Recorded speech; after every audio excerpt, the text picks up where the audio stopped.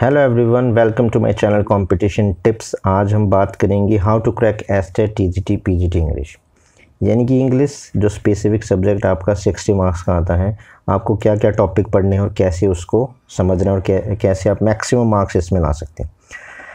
तो मैंने सब सब्जेक्ट है जो पहले पार्ट आपका ग्रामर है। मोस्ट इंपॉर्टेंट दोनों टी जी में ग्रामर आएगा। तो इसमें आपको क्या क्या करना है? टेंस सब्जेक्ट पर agreement part of speech preposition, condition sentence, phrasal verb, spellings, active, passive, direct, indirect, clause and phrases, question tag, error, deductions, sentence arrangement, unseen passage और एंड पोइट्री आएगा फॉर कॉम्प्रिहेंशंस साथ में आप jumble words करिए sentence arrangement ही jumbles words भी हैं ये चीज़ें आपको करनी है तो इसमें स्पेलिंग्स में आ गए आपको एक्टिव वो सिनोनिम और एंटोनिम्स आ गए हैं।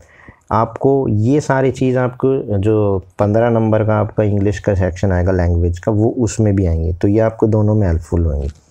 तो आप ज़रूर से ज़रूर सब्जेक्ट वर्ब एग्रीमेंट तो पक्का करें।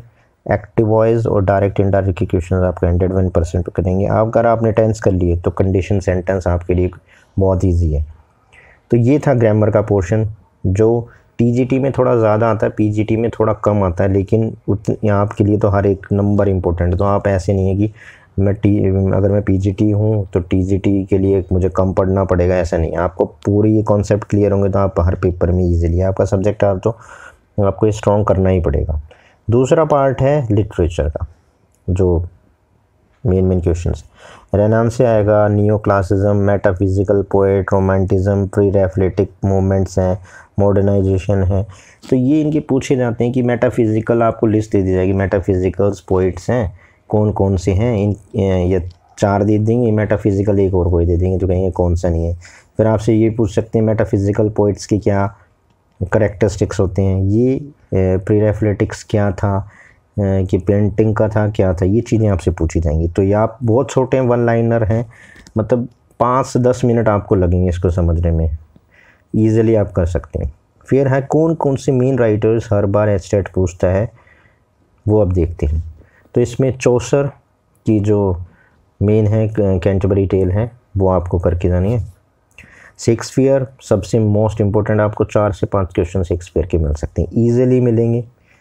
यूनिवर्सिटी विट्स पूछेंगे इसी के ये।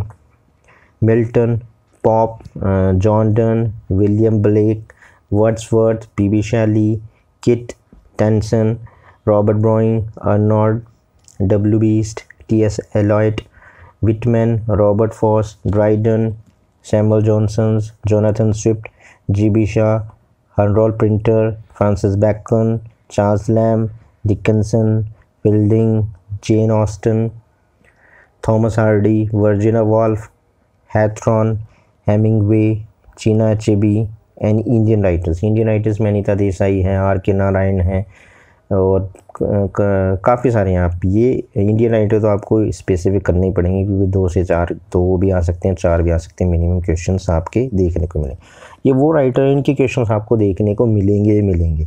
चाहे इनके वर्क से हो आपको वर्क दे दिए जाएँगे चार फिर आप ए, एक उसमें गलत होगा तो इसमें कहेंगे इसमें से जैसे शेक्सपियर का कौन सा वर्क नहीं है। फिर इनकी पी बी शैली हो गया यानी कि रोमांटिज़म से इनकी पोएम से रिलेटेड पूछ लिया जाएगा। कभी कभी तो आप पोएम इनकी दे दी जाती है उससे नीचे क्वेश्चन पूछे जाते हैं। अगर आपने इनकी पोएम ईजिली कर ली तो आप वो पैराग्राफ भी अगर वो आ गया और पोएम्स आ गई तो ईजिली आप उसको कर लें। ये मेन मेन थे इनके आपको वर्क फ़ेमस फ़ेमस वर्क आपको बताई होंगे।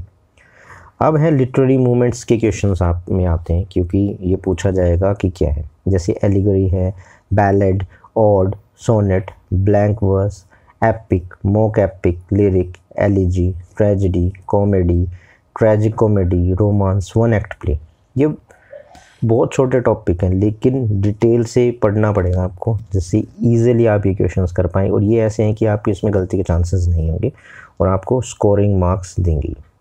फिर फिगर ऑफ़ स्पीच ज़रूर आएगी। फिगर ऑफ़ स्पीच की अगर हम बात करें तो यही सिमली मेटाफोर्स ये आपको करें। इजी होता है, एक लाइन देखी जैसे हर एग्ज़ाम में पूछा जाता है वैसे। फिर आपको पढ़नी है एन e अगर आप T G T P G T दोनों दे रहे हैं इंग्लिश से तो आपको नाइन्थ से लेकर ट्वेल्थ तक की एन e आपको पढ़नी पड़ेगी। उसमें करेक्टर्स पढ़ने पड़ेंगे आपको और कि इसके राइटर्स कौन है। मोस्टली तो राइटर्स ही पूछा जाता है, फिर, लेकिन डीपली आपने पढ़ने पड़ेंगे। हाँ आपके लिए मैं ये करूँगा कि एन e के लिए मैं एक सेपरेट वीडियो बना रहा हूँ और आपके लिए ये पूरे डाल दूँगा। मैंने इलेवंथ के और ट्वेल्थ के डालने स्टार्ट कर दिए हैं। आप उनको देख के ईज़िली आप समझ सकते हैं। दस से पंद्रह मिनट के वीडियो होंगे और आपको अलग से उसके लिए बुक नहीं पढ़नी पड़ेगी। मैंने उनमें हाईलाइट किए हुए हैं।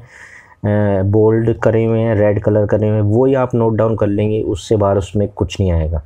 आपके, आप पूरा पढ़ेंगे, जब भी नहीं समझ पाएँगे, मैंने इजी वे में उसको समझाया है, और भी मैं वीडियो डालता रहूँगा एन e के, आप मेरे चैनल से जुड़े रहें। उसके बाद एक या दो क्वेश्चन आते हैं वर्ड्स की, जैसे कि नोबल प्राइज़ अभी ज़रूर दो हज़ार इक्कीस का और बीस का मतलब उन्नीस तक का पढ़ें, दो तीन साल का नोबल प्राइज़ ये पूछते हैं। बुकर प्राइज़ भी पूछते हैं और साहित्य अकेडमी अवार्ड भी।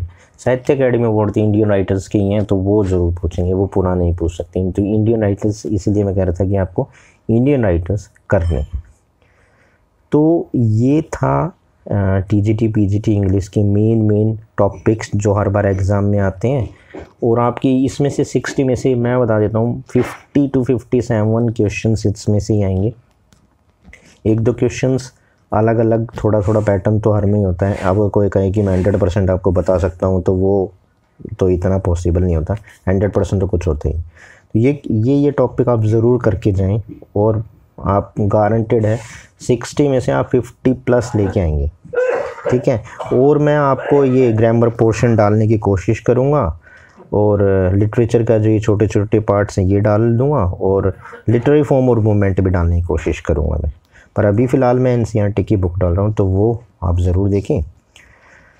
और कैसे पढ़ना है कौन क्या स्ट्रेटजी होगी कौन सी बुक चाहिए ये इसके लिए मैंने एक सेपरेट वीडियो बनाया हुआ है। और आपको कैटेगराइज करना था वो सेवन सब्जेक्ट हैं एक मैंने आपको बता दिया सिक्स सब्जेक्ट कौन से उसके लिए भी मैंने एक सेपरेट वीडियो बनाया। आप देख सकते हैं कि साइकोलॉजी के कौन से मेन टॉपिक उसमें हिंदी के कौन से हैं तो आप उसको आप इजीली कर सकते हैं आपके लिए काफ़ी हेल्पफुल होगा। तो ये था मेरा वीडियो आ, मिलते हैं अगली वीडियो में। Till that bye have a nice day